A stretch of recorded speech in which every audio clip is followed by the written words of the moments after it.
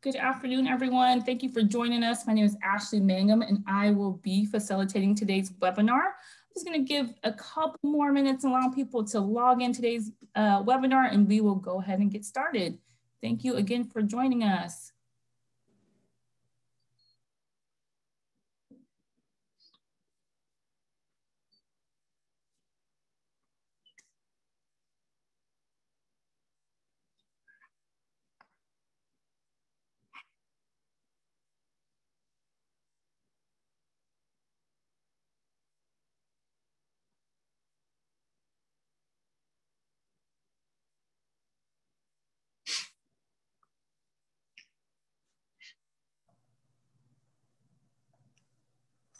All right, well, we will go ahead and get started. Again, my name is Ashley Mangum, and I am the project manager for Kids Mental Health Pierce County. And I wanna thank you all for joining us for our March webinar today. And if you're not familiar with Kids Mental Health Pierce County, we are a community collaborative that is aimed at streamlining and coordinating behavioral health services for school age kids here in Pierce County. And so we really have been working on developing a coordinated, responsive behavioral health system that serves the needs of children, youth, and families at the right time in the best place and with the best outcome for every family. Since the onset of the pandemic, Kids Mental Health Pierce County has hosted a series of virtual webinars with the goal of providing supports and resources to parents and caregivers and to help understand and support kids and families during the pandemic. Today's webinar features two of my amazing colleagues, Lisa Duke and Darren Wenz from the Mary Bridge Center for Grieving Children with a focus on helping children and youth cope with grief and loss. As always, a second goal for today is to provide a, a forum of community support where we can learn from each other. So we have the opportunity for questions and answers. You can use the question and answer tab below, and you can also utilize the chat box as well. Um, feel free to use that chat box to share your own suggestions as well, and we will do our best to answer them if we're able. And if we're not able, we hope to follow up with you after today's webinar. Um, just as a reminder, today's meeting is being recorded. And we will post this recording to the Kids Mental Health Pierce County website, as well as send out an email after today's presentations. So before um, I turn it over to my wonderful colleagues, I want to go over some community agreements for today.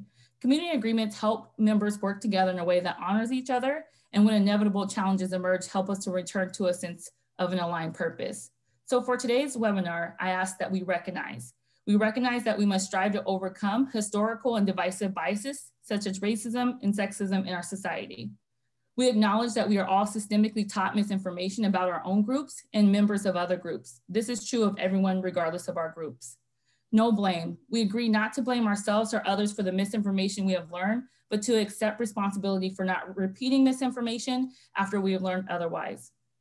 We agree to listen respectfully to each other without interruptions we acknowledge that we may be at different stages of learning on the content and discussion topics. We agree that no one should be required or expected to speak for their whole race or gender. We can't even if we wanted to. Everyone has come to the table to learn, grow, and share. We will trust that people are doing the best they can. We acknowledge once again that we may be at different stages of learning on the topic.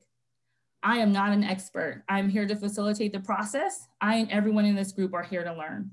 And just remember intent versus impact. We may have the intent not to do harm, but some groups or individuals may be impacted, and some groups may be impacted from us bringing up historical oppressions. So with those community agreements, I now have the honor of introducing two of my wonderful colleagues. And I'm gonna start first by introducing Lisa Duke. Lisa Duke is a MSW, or Master's in Social Work, from the Bridges Center for Grieving Children. Lisa has been fortunate to work in that role of family support coordinator with the families at Bridges since 2012. Working with grief and loss has challenged and enriched her life. After re receiving her master's in social work at New York University, she worked for several years in the pediatric community mental health in the South Bronx. She is grateful for the Tacoma community on this journey that she shares with her husband, Paul Duke, and two amazing daughters, Rachel and Savannah. Next, I get to introduce Darren Wenz, and he is a licensed clinical social worker who joined the Bridges staff at, as the Bridges program coordinator in July 2007. Prior to joining Bridges, Darren served as executive director of Families Unlimited Network, a nonprofit agency serving low income children and families. His work experience includes over 25 years of work with children including teaching junior high students, directing an after-school program for children ages 9 to 13, and counseling children, teens, and families in private practice work. Darren received his MSW from the University of Washington, Tacoma. While in the social work program, he served as an intern at Bridges during the 2004 to 2005 school year. Darren received a certification in, I'm gonna not say this right, through, do you wanna? Certificate of Thanatology. I was not gonna get that. it's a toughie, it's a tongue twister. Oh, through ADEC in 2009 and became a licensed independent clinical social worker in 2011. For over 10 years, Darren has coordinated Camp Erin, Pierce County. Darren and his wife, Pam, have three children, Caleb, Ryan, and Lewis. So again, thank you so much, Derek and Lisa, Darren and Lisa for being here today and providing this training. And I am going to hand it over to you. Great, thanks Ashley. Thanks for the introductions. It's great to be with all of you this afternoon for this webinar. As Ashley introduced us, my name is Darren and I work at Bridges with my coworker here, Lisa and we are going to talk a little bit with you today about how to best help children and youth cope with grief and loss. Um, most of you hopefully have heard of Bridges before. We've been around for 32 years, uh, serving children and families when they have experienced uh, significant loss or have somebody in their family with a significant illness. So that's what Bridges has been providing the community for a long time, and we're very proud of that. Uh, we know that um, our, our job is important, certainly, because we know loss happens, unfortunately, to children. And we have been honored to be a part of the journey as they continue to heal with their entire family. So we are going to spend the next roughly hour with all of you, giving a chance to think a little more about how we can best support children, teens, and their families as they grieve. Go ahead and go to the next slide, Ashley. The mission at Bridges is that no child will grieve alone. And we know that at Bridges, the work that we do directly here is certainly very important, but we don't see every child who's grieving in Pierce County or in all of Washington, certainly. Uh, so we do all we can to help other people feel uh, a little more comfortable and a little more equipped to address the needs of children and teens as they grieve. And certainly, as we think about the pandemic that we've been living through, loss has been a part of probably all of our lives in some capacity. Hopefully, we all haven't experienced death during this time, but certainly we've all experienced loss of some capacity. And I'm guessing you come today probably rep- representing some children or teens that have experienced loss. So I was going to encourage you to start our webinar just to give us a sense of kind of where you're coming from, um, to go ahead and put in the chat what type of losses you know your children, teens that you're working with are experiencing. And we'll just take a second to view those as you type those into the chat. So go ahead and do that now.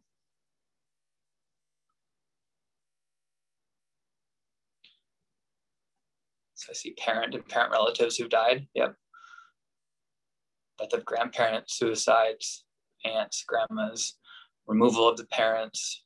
Yes. Loss of routine, family separation, peers. Loss of time spent with family. Yep. loss of friendships, social connections. Yep, loss of social interaction. That's for sure. Yep, not being able to go to school, loss of social interaction there. Yeah, thanks everybody. Go ahead and keep putting those in there. Um, and we are going to try to incorporate not just talking about grief when it comes to death, but loss in general as well. Because even though loss is a significant, or a death is a significant loss, there are other losses that sometimes get lost in the process, and those do need to be grieved as well. So that's really important for us to do during our time together. So thank you for continuing to write down our, uh, some of those losses in the chat. Um, I'm going to hand it over to, to Lisa now, and she's going to go through a little bit of uh, some of the terminology that we want to make sure we're all comfortable with. Yeah, so Ashley, you can go, the next slide is, is just our info. You all will receive this um, PowerPoint and then you'll have that to be able to contact us for any further um, follow-up or resources or support. That, that's why we're here. So we're gonna talk about defining grief, just to give the terminology um, that we will, we will use these terms throughout the presentation. So just um, to talk about them a little bit. Um, bereavement and we all have all heard that word bereavement and it's the state of being whether it's emotional cognitive spiritual or all of those um, and it's the being that's caused by a loss such as a death um, and as Darren just mentioned, many kinds of loss can bring a state of bereavement for the individual and family. And then grief is the intense process of thoughts, feelings, and behaviors that are caused by that loss.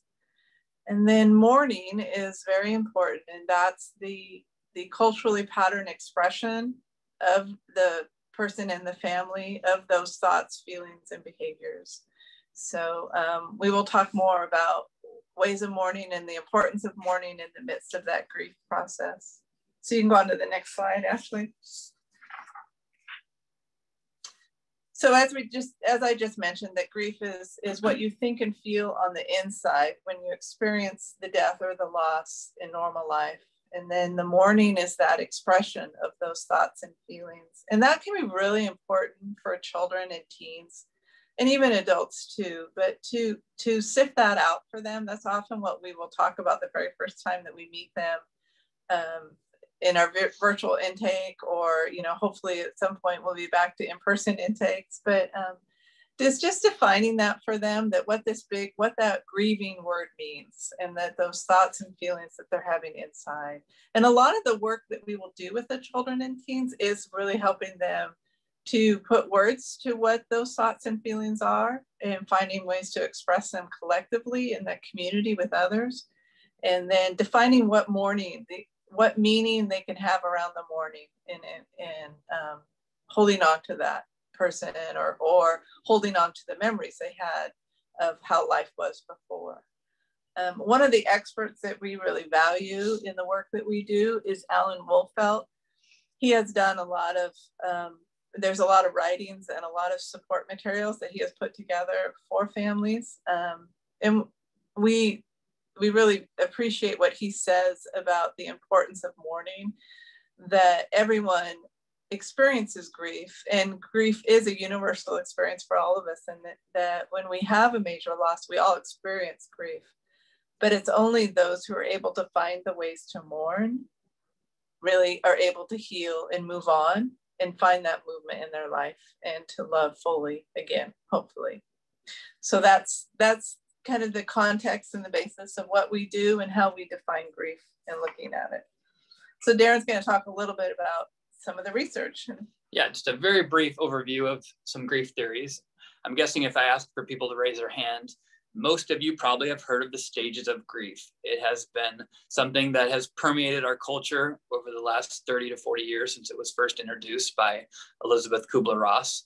Um, some of you may be able to identify the different stages, shock or denial, bargaining, anger, depression, and acceptance. Um, you see it all the time in movies, TV, um, and in some ways that's unfortunate. Um, the stages of grief certainly were pioneering work that Elisabeth Kubler-Ross did, um, they uh, they pertained more to the illness experience than they did to grief experience when she first created them. But because our culture, particularly probably our white American culture, is what it is, and we really like the thought of getting through a stage and moving on to the next stage and kind of checking boxes and kind of going through this very very linear process, which Kubler-Ross didn't mean to, but that's kind of what it has been interpreted into that you go through each stage and once you're done with it you're done with it and you move on to the next stage. And once you get to acceptance you're done grieving.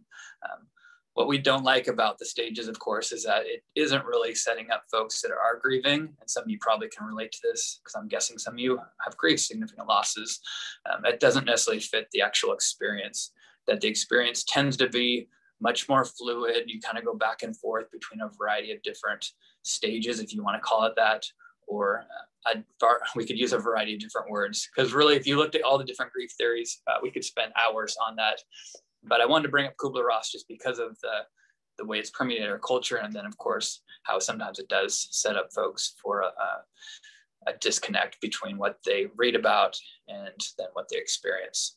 Uh, but a couple other grief theories that, that we tend to like. Um, our dual process is a a newer grief theory. And this just highlights the two different types of work that are done when we're grieving. There is the loss oriented work that pertains to all that we need to kind of think about, feel, and all that's been lost with a death or whatever loss experience we're going through. Um, And then there's the other side of the pendulum swing. So one pendulum swing is the loss orientation. The other side is the restoration side of the, the swinging pendulum. And that's more of the what life looks like moving forward. How have I been impacted by this loss? So if you take COVID, for example, we've all had to kind of do a lot of work around losing things, whether that's vacations, uh, social interactions, um, a job change, you know, job is feeling different, lots of different losses that we've gone through. And then there's the restoration part of like, okay, this pandemic isn't going to be over in a week. Like, what's going to happen moving forward? And even as we move through the end of the pandemic, what is life going to look like? Knowing it may not go right back to normal like it was in February of 2020. It may look different, and knowing that that's kind of where we're at with COVID, and that's kind of the swinging pendulum that the dual process identifies. The other theory is kind of what we use at Bridges for our curriculum when we work with children and families. And that is a work of William Worden uh, from the uh, early 80s, kind of when childhood bereavement was first being identified. Uh, prior to that, they really didn't think kids grieved because uh, kids did so much play and just seemed to be um, oblivious sometimes to some of those harder emotions or would show them in very short bursts that we'll talk about in a minute. Uh, but you can go to the next slide, Ashley, because I believe those four tasks are there on a slide for you. So accepting the reality of the loss, just acknowledging what has been lost, uh, processing the pain of grief, then adjusting to the world without the person that's there any longer, and then finding the enduring connection with the person while embarking on a new life. So you can see the dual process we talked about and the tasks, there is some similarity, of course.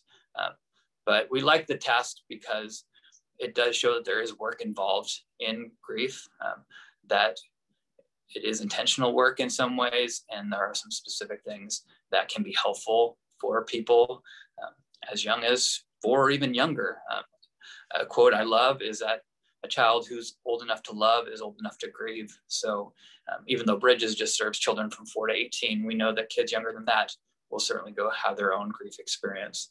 So those are the four tasks of Worden and kind of a quick overview on some of the different theories.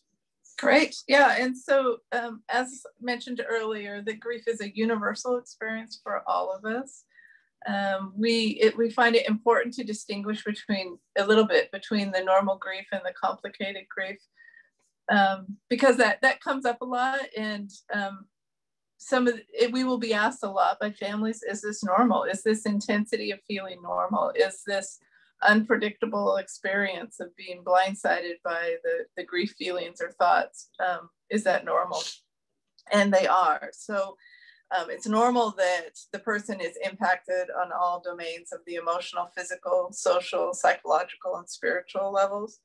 Um, it is normal that it's isolating for families and individuals. Again, that it is overwhelming at times due to the intensity, the duration, and the unpredictability of the grief.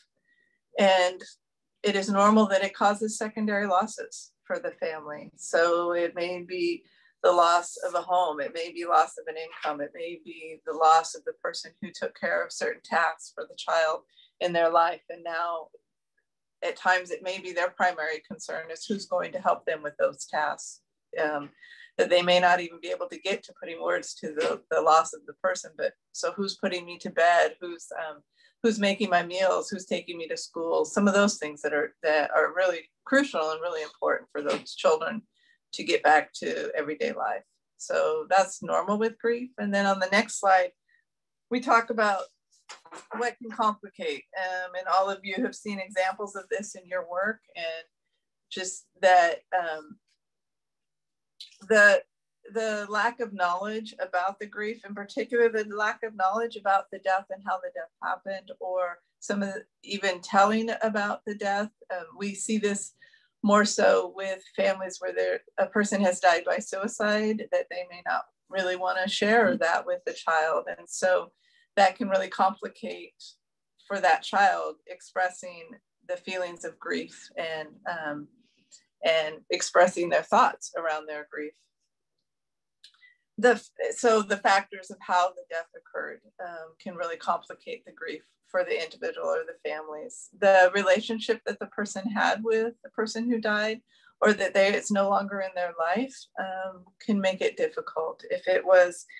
conflictual, if it was um, the relationship was impacted by by addiction um, or domestic violence, that can make the grief really difficult and to to express those feelings and those thoughts. Um, at times, for some kids and teens, there's a feeling of relief, and there might be some real guilt at those feelings as well. So um, that can make it more difficult for them. And then if, it, if it's a family system that they really don't have the open family to to express their feelings or their thoughts, um, that can make it, it difficult then to express that. So um, it can really impact the individual's ability to adjust and to mourn. Um, so those are some of the things, and we'll get into more as we talk about kids in development too. What can what can show up in those in those ages. So we can so now we can go off slide um, sharing and yeah, thanks Ashley. And maybe we can pause there too as we go off slide. Um, I don't know if there's any questions, but we always want uh, feedback. So if anything we said right now brings up a comment or a question, we'd love to hear that from you. I know Ashley's uh, monitoring that. So I'll just give a moment to check in with Ashley. Anything showing up right now with questions, Ashley? Yeah, there was one question in the chat box um, from Vanessa. She's curious if there are activities or resources for group sessions that you could share. Yes, absolutely. Um, we won't do that today in the webinar, but we'd be happy to uh, email that to you, give you some ideas around some activities that you can do both virtually, uh, as we've learned over the course of this last year, and then of course, once you're in person with a child or a group of children or teens. Yeah, absolutely. And I do see a hand raised. If you could utilize the chat or Q&A box, um, that would allow us to, to get to your question. Or I could, I could allow participants to talk if that's helpful, Darren and Lisa. Yeah, um, let's do chat for now. Okay. Ashley, and then maybe at the end when we have the Q&A, we can open up for folks to verbally ask questions. Sounds great. So Candice, we'll get to you during Q&A, but if you want to utilize that chat box or the Q&A box for any questions, um, we'll make sure to, to get those asked. All right, should we keep going then? Yeah. Great. All right, so we're gonna spend the bulk of the remainder of our time talking about grief and what that looks like across the developmental age groups. Um, so Lisa and I will just have a bit of a conversation uh, talking about how different age groups may be processing loss. Uh, and we know children of all ages, like I mentioned just earlier, are old enough to form attachments. So once those attachments are formed, then if that attachment is broken, then we know there's going to be grief related to that as well. So we see that with certainly with people, uh, we see that with animals um, for children. Even we, we even see that with with objects at times. So it's important that we recognize those losses um, and certainly try to understand where children are at at their different age groups. So I'm going to start with six year olds, and this can probably be adjusted down to even as young as four to six year olds. Um, but four to six year olds may not see certainly a death or uh, even a loss of some kind as uh, they might see it as reversible, so they may not understand the concreteness of the death. Um, so they may still ask questions about is that person coming back? Where did they go? Um, can I go visit them? Um, this is where it can be really important to use the word death and dying. Um, we have a lot of um, euphemisms in our language that can be very confusing for children. So, for example, saying the person, we lost that person, you know, a little four to six year old may feel like, well, maybe they're playing a game hide and seek and maybe I can go find them somewhere. Um, or you know they went on a trip or they passed away um, even can be somewhat confusing because they tend to be pretty concrete in their thinking and so it can be uncomfortable for adults to use words like death and dying um, but we know that's really helpful because it does give a little uh, or a lot more specificity to what's going on because hopefully the child has some understanding of what happens when bugs die or whatever their context be, but just that death and dying language has a lot more meaning to it than some of the euphemisms that we might use. Um, children in this age group tend to utilize magical thinking, which is part of being four to six, is having imagination, right? And being able to pretend and play with little action figures and do all kinds of things that we as adults really struggle with. Um, but that magical thinking can sometimes be a, a, hard thing for children, particularly if they aren't given information about a loss. Um, so specifically when we're talking about death, you know, if a child doesn't know how the person died, um, they may make that magical thinking um, be about them, which is very common too for four to six year olds to be kind of egocentric. They don't have the bigger picture of the world. So it's not like they're selfish, but that's kind of all they can picture is their own uh, influence on the world. So they may think something they said, something they did, um, cause that person to die or get sick, um, or to just to, if they were sent away or something, you know, all those things. Um, little four to six year olds can sometimes um, imagine that they have caused whatever this loss situation is.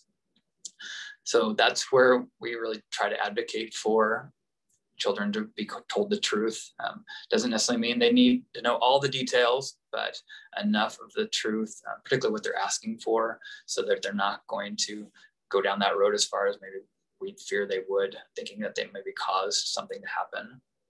Um, so another thing very common in four to six year olds is regression. So just um, having trouble sleeping, um, even toilet training issues are common, reverting to talking more like a three, two year old baby um, might talk um, are some common things we might see in, this age group when they're going through grief.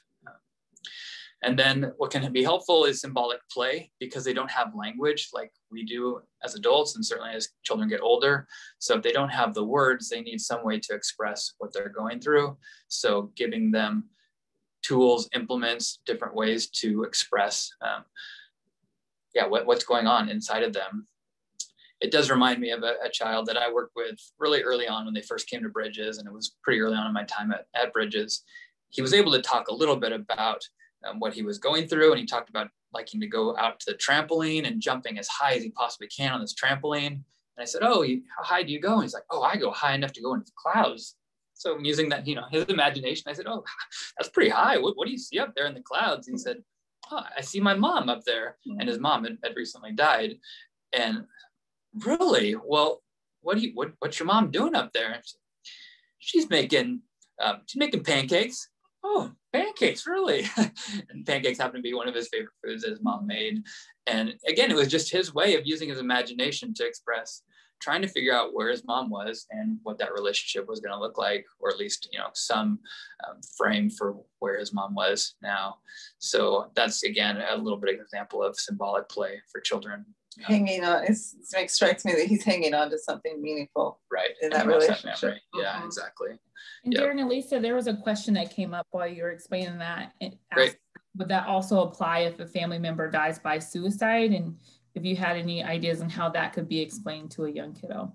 Absolutely. Yeah, that's a common question that we get um, phone calls about all the time. Um, and, you know, some of the wording we put on that is, well, first of all, um, for the adult, recognizing it can be really hard to tell any child or teen that or somebody you've cared about has died by suicide. So recognizing it's not easy, um, but knowing that in the long run, they will do better knowing that they can trust you. So whoever that person is that's going to be sharing it, you want that to be a person the child trusts and to know that that will be a continuing part of their relationship, knowing they can trust you to tell them even the hardest news. Um, now, of course, with four to six year olds, you're not going to tell them all the details, but some wording around that is certainly sometimes four to six year olds understand, you know, just like our bodies get sick, um, sometimes our heads also and our brains get sick and cause us to do things that we would never do if we didn't have some kind of illness in our brain. Um, and so putting that kind of language on it, that's that's what happened to whoever you cared about is that they had this illness in their brain and it made them do something that they would never do if they were were healthy in that way. So uh, so that that begins the conversation and knowing that it is a conversation that will continue um, and recognizing that'll continue throughout the child's life perhaps they may continue to have questions as they get older um, but that at least begins that conversation and creates this hopefully trusting safe relationship for that child to continue to ask those questions to process and to try to make sense of what really doesn't make sense for for any of us when suicide happens and also i mean it will continue if if that really if that conversation is happening um, repeatedly hopefully. Um, but also as we often tell adults who um, as as gently as we can but that children will often make up their own reasons for how the death occurred because they're trying to make sense of it. We all are when we have these traumatic experiences. And children will often come up with an answer that has to do with their themselves being to blame for the death. And you know of course that is the last thing that the, the caring adults in their life want them to believe. And so this can help them to, to hopefully not do that as well. So.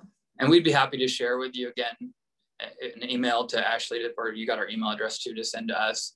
Um, we have like 10 talking points in explaining losses to children and suicide is one of those specific ones that um, again 10 points is you know it's not something that's easy even having those 10 ideas but at least gives families some type of framework and some encouragement and some support as they go about thinking about having that conversation that can be so difficult. And sometimes in group that's what the adults will help each other with is that they've they're at different stages at that. We have a, an adult group just for families where there's been a suicide and oftentimes in that adult group, it will be a, discussion about how that went and what they did, and really supporting each other in that process. So, good question. Yeah. Anything else, Ashley? No other um, questions, just a comment um, in terms of just talking about suicide and maybe um, if, if that is a future topic to maybe offer a trigger warning or, or something just to prepare participants as we continue to navigate these conversations. Okay. Yeah. Yeah. Um, and it, I would just say with the six year old, four, six year olds, that can be a stage where we see the parents question are they really grieving? And because that play is so important, mm-hmm. and we find that the kids will have a short attention span to grief um, and they'll flip back and forth pretty easily. Yep. And so um, sometimes parents will say, I'm not so sure they're grieving. And so we just sometimes helping them to see that they are. It's just the age that they're at and yeah. the development. Yeah. So the next age that we're talking about is the seven to nine, and this is when they're beginning to develop more of a cognitive um, understanding of cause and effect. And so this is often an age where they may begin to understand more about the details that they've been told already if the death occurred when they were younger or the loss happened when they were younger they really they may be able to understand begin to understand it better at this age um,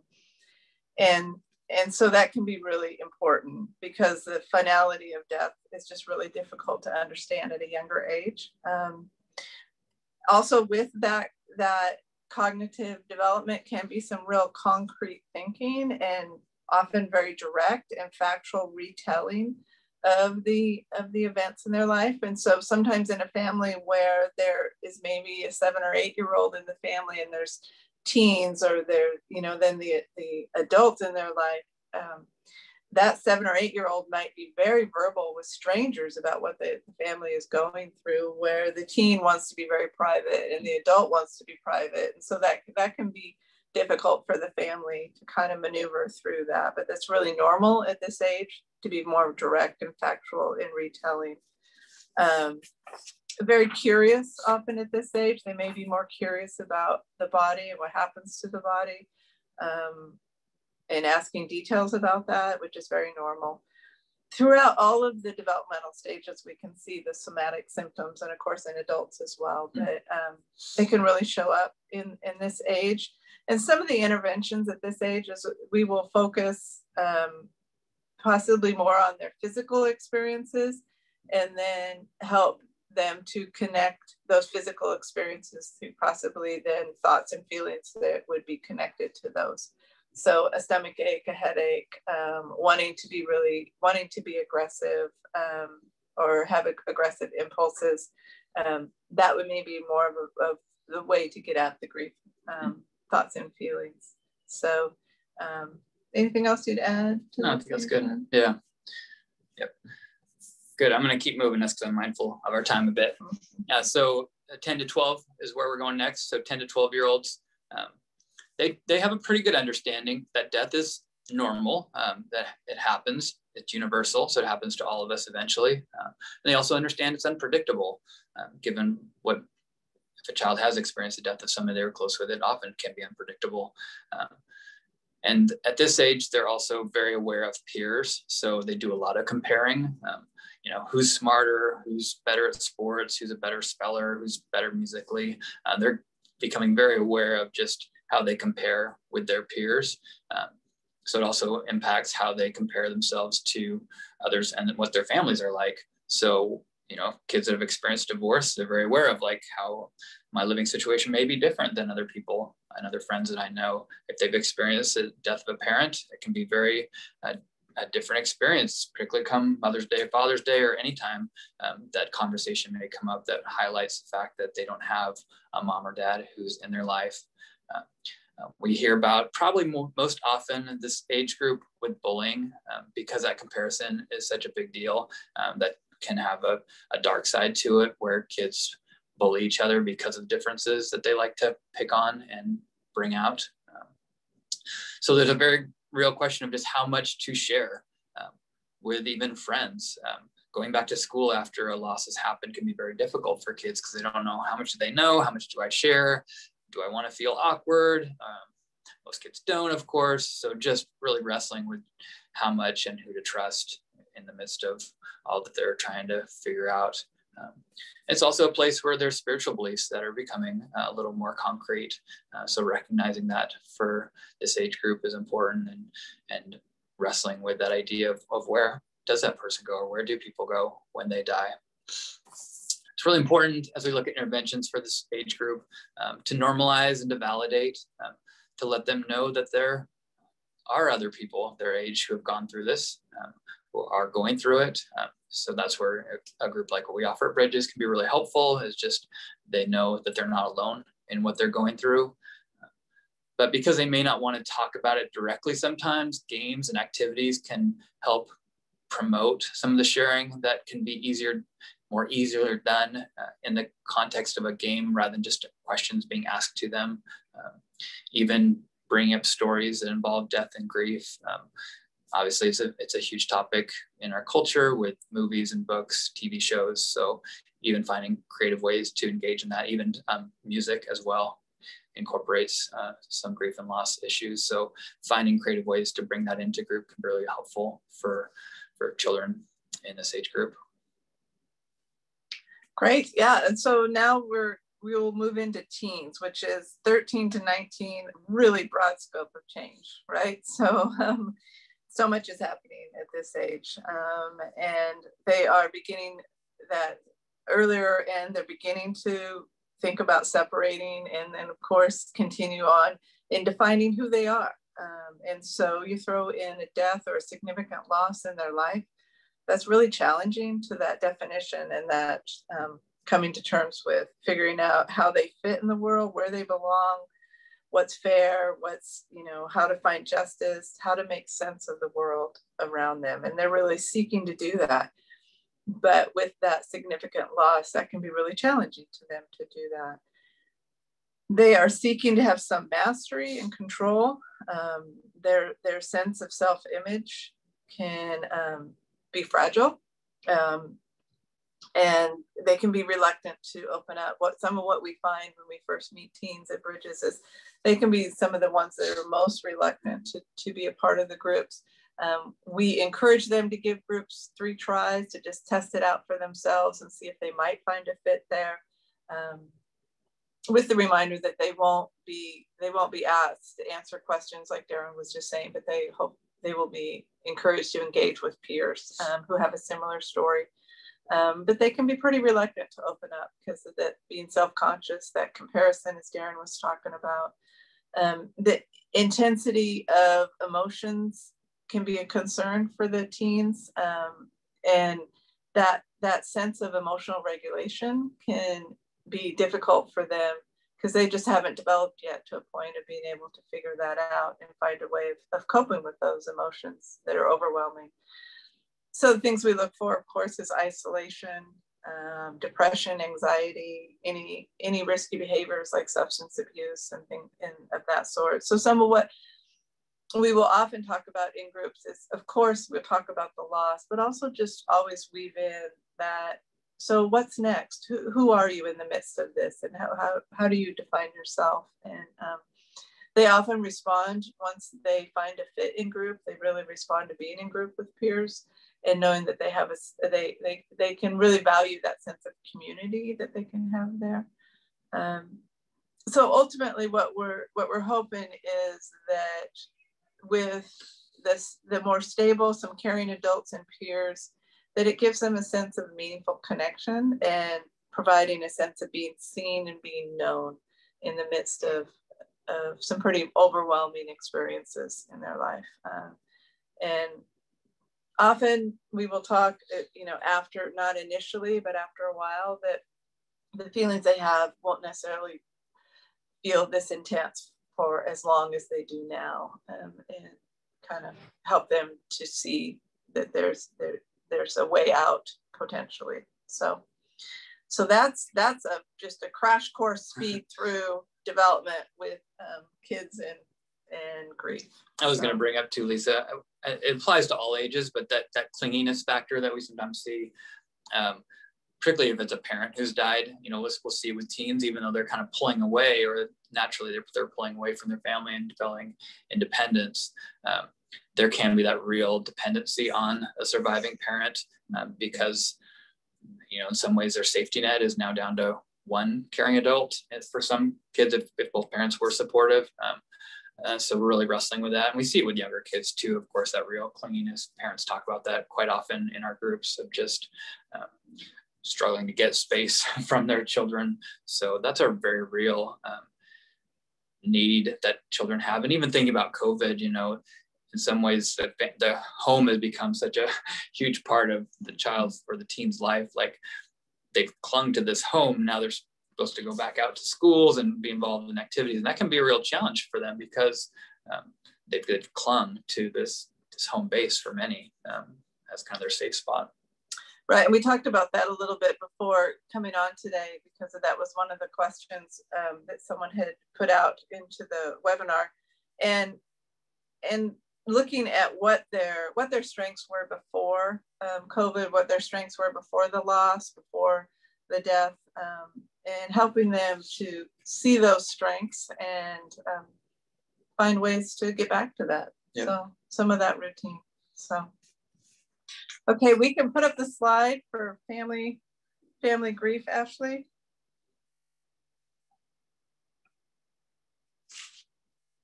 Great.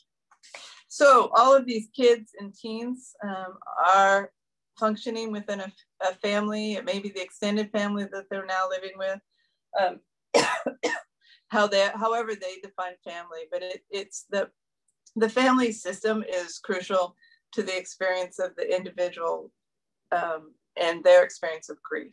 Um, so the roles, the rules, the, the way communication is done in the family, the boundaries, kind of what is what's responsible for what the family's responsible for and what is outside or external, um, what belongs to the environment and not to the family. Um, how that's all understood and um, and set out and followed um, for a family that's grieving a significant loss is really important to how their how it will impact their grief journey. One of the things that we talk about is that the experts say is that really the, the one of the really the key factor for children and teens in in exploring their own grief and finding their way way through grief is to have adults in their life who are willing to do the same. So it's that they're willing to have that that express their grief experience um, that it's not doesn't have to be a strength with their grief experience. It doesn't have to be a clear path through it.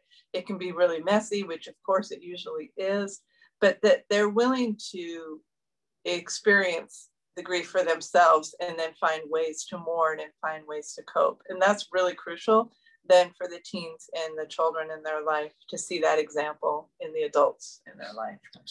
Um, so the keys to the family um, sense of resilience after the significant loss is their their belief system. So being able to find meaning in the midst of the adversity.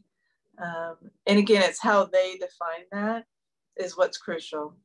How the family is organized, so that ability to be flexible, connected. Um, if they're able to, when they don't, aren't operating that way, can they find their way back to that?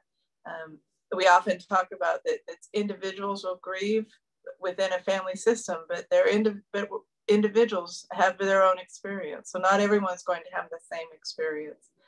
Um, and then, then, of course, how the family communicates. Is it clear, open, honest, willing to express the feelings and find ways to solve problems? Um, and find ways to accept how it might be different across the family members. So the next slide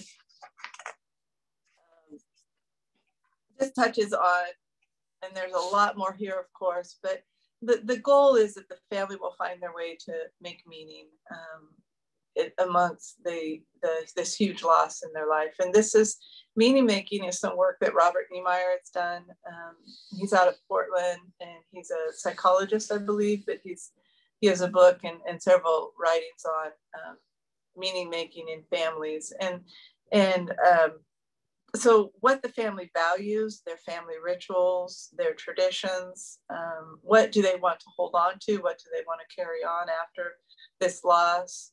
How they define spirituality, um, if there's a religion that's important to them, how that plays in, into um, finding a sense of meaning.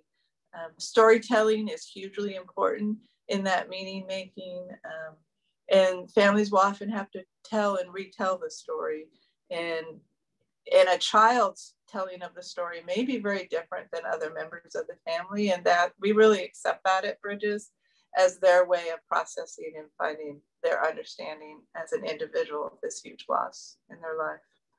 Um, so yeah anything else you'd add? I think that's good. Yep. yeah. So go ahead and go to the next slide there ashley and we'll move through these pretty quickly but ways we can help. Uh, first off, to seek the family strength or even the child's strength if they're not part of a family that you know of. Um, know the family strength in general. Uh, but certainly some families, you know, there's just a general affection they have, uh, appreciation for each other. Their communication can be really good. Um, they maybe have gone through hard times in the past and managed stress and crisis even um, in the past. So it's important to recognize all those things that families maybe have experienced and, and been through together. Um, but when it comes to children, you know, recognizing their strengths um, look different, um, but things like drawing, like we talked about, reading, just being able to talk perhaps, um, moving, sports can be really important for children as they go through loss. Um, I know a lot of people put a lot of emphasis on talking about their experience, which is important certainly, um, but there is a lot of research in terms of um, more the instrumental is what they call it, instrumental grieving, which is more doing. So doing something for your grief rather than just talking about it. For some people, the talking is most important, and that's what they call intuitive.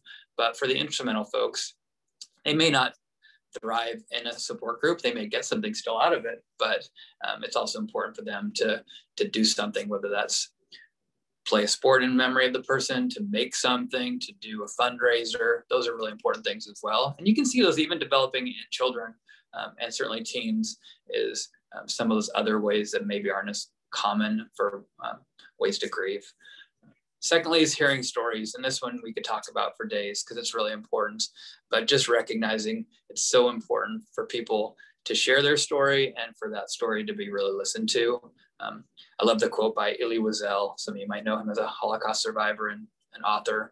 But he said, uh, Whoever survives a test or survives a loss, whatever it may be, must tell the story.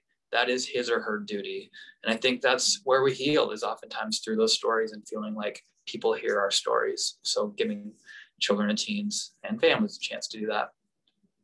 Uh, third, acknowledging the uncertainty that they live with, understanding that they're going through a huge change right now and trying to find some meaning out of that, like Lisa mentioned, which may not be something you're going to say at the beginning, right when the loss has happened, or even in that early few months.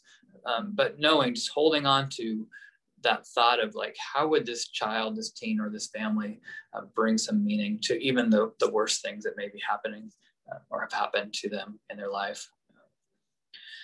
Let's see, uh, seeking their understanding of the death and their search for meaning. We talked a little bit about that right there. Um, recognizing movement and growth. Uh, movement is a really important word for us. Uh, grief happens best when you see movement. Um, when people start to stagnate and be at the same spot all the time, that's a concern. Um, more than when people are just going through a really hard season. Like if there's movement in that difficulty of the season, that's more hopeful than somebody who just stays at the same spot the whole time. So movement and growth are really important. And then finally, encouraging them to accept the journey they're on. Knowing it's a journey, it's not a quick fix, and that can be really hard in our uh, instant gratification culture that we live in, uh, where we can get so much information and get our needs met in some ways and in really instant ways. Um, but with grief, there isn't just something they can do that's going to make the pain and the loss and the hurt go away. And so recognizing that it is a journey and things can get better, but it's not going to be something that happens in three days of bereavement leave, like we often see with employers, or even sometimes in a year. Sometimes people put that year long timeline on their grief. And that can be really hard when they get to that one year and they still have hard days and they think they should be over whatever the loss is. And we just don't use thing, words like over. Um, actually, I think that's going to be the next slide, but um, recognizing it's a journey. Go ahead and go to the next slide there, Ashley. Um, so words and actions we avoid. Um, I won't go through all these for the sake of time, um, but uh, just a couple to highlight. Um, saying I know how you feel is sometimes tempting, particularly when we've gone through our own loss and maybe it is a connection that we think we have with that person. Um, it's really important for everyone to feel like their grief journey is their grief journey and to know that even though there are similarities that they're hopefully going to find with fellow grievers, um, saying you know exactly how you feel kind of shuts them down or can shut people down. Be like, oh, you already know exactly how I feel. What's the point in me telling you what my life is like right now or what I'm struggling with? Um, we oftentimes just want to make ourselves feel better as listeners because we can be kind of uncomfortable when folks are going through such a hard time. So mean, words like this, the person in a better place, um, I think sometimes can maybe make us feel better, but um, can can be hard for the person that's grieving because it feels like, well, even if they were in a better place, it, that's not necessarily giving me much comfort right now. So, um, or even that you'll be stronger because of this. It's like that might be true, and that might be the long term, um, some of the meaning that can be coming. But to tell them that doesn't necessarily mean it's you're going to speak that into existence for them. That that maybe makes us feel better, um, knowing maybe what what might be on the horizon for them, but it's not going to make the griever necessarily feel better. So those are just a few things. We'll, we'll I think I would just yeah. really quick yeah. add that we try to avoid saying loved one, right? Referring yeah. if there's a death of a person, um, referring to them as a loved one because that's defining a value to that relationship that may stymie the person's ability to really talk about what that relationship was like. That isn't is often um, it, at times, not often, but it can at times be not very loving for that for them. Mm-hmm. Yeah, and relationships are complicated. So grief is complicated too. I think it's unwise to think grief is not going to be have some complications. And I think the more people are willing to identify the whole relationship rather than just the good parts of it, probably the better off they'll be as they continue to grieve. Let's go to the next slide, Ashley. So just a few truths about grief, and then we'll open it up for questions. Is uh, grief is a process, as we've talked about, and it's unique to the individual, but it's influenced certainly by family. That's a huge part of what influences our grief, but also our community and our other social systems. So we want to be aware of that as we look at children and teens, and then the broader family and community that they're involved in. Um, grief challenges our identity, our relationships, our beliefs, our view of the world, and our role in it. There's a lot that grief will challenge. It's kind of like it's a puzzle that's thrown up in the air, it comes back down, and you got to put all the pieces back together. And it may look different than it did before the, uh, the death happened or the loss happened we talked a little bit about death is not something you get over, uh, something you move through, and certainly hope for healing and you hope for growth and movement, but it's never something that you'll get over. There'll probably always be a piece of your grief that um, pops up from time to time, and that's to be expected. Uh, the goal of grief work is to gain an interest in life and to feel hopeful again. It's not to take away the pain altogether, but it is certainly to move through it and to gain an interest in life and to develop some elements of hope about life moving forward. And then finally, it does not, does not matter how slowly you go, so long as you do not stop. Um, and I think that's really important for all of us as we continue to live through the pandemic and some of the losses we've gone through, uh, but certainly encouraging um, as we work with folks who are going through loss is to recognize it's okay if you feel like you're going slowly as long as you continue to keep moving forward and not stop. So I believe that's our last slide, Ashley. So I, oh, and I'll, I'll read the quote for all of us. Um, this is from an author that actually Bridges is featured in uh, one of her writings. Rachel Naomi Remen is the author. The book that Bridges in is uh, My Grandfather's Blessing, uh, but she says this in one of her writings. Uh, the greatest blessing we offer others may be the belief we have in their struggle for freedom, the courage to support and accompany them as they determine for themselves the strength that will become their refuge and the foundation of their lives. So with that, I think we've got a few minutes for questions. So we can either take questions from the chat, from the Q&A, or if folks want to verbally say those questions, we're happy to answer. Thank you so much, Lisa and Darren. This is so helpful. And one of the things I appreciate the most about these webinars is they've been able to be scheduled in response to parents and caregivers asking for those resources and supports. And we know our kids have really been struggling during this pandemic and families have been struggling. And so it's so helpful to have these kind of resources and be able to support each other and having these conversations. So I really just appreciate both of you for sharing these resources with us today and everybody who participated.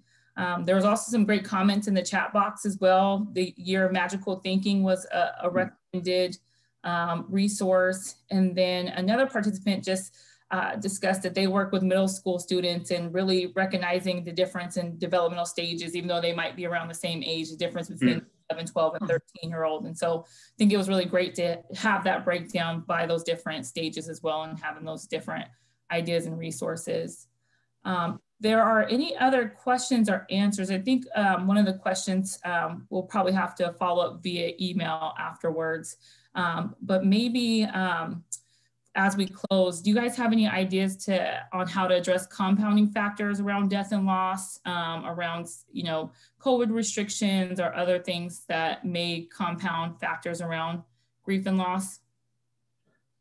Yeah, we were talking about that a little bit before because we saw that question. Um, you know, the COVID restrictions has certainly made it hard to have funerals, memorial services, celebration of lives. Um, that we're used to. I mean, certainly people have gotten creative with doing virtual things. Um, and I'm hopeful even for the virtual events that have happened, there may still be um, funerals, memorial service, celebration of lives that happened after the pandemic is over and after we're able to to um, move back into a little more normalcy or at least gathering with more people because uh, I think those are really important.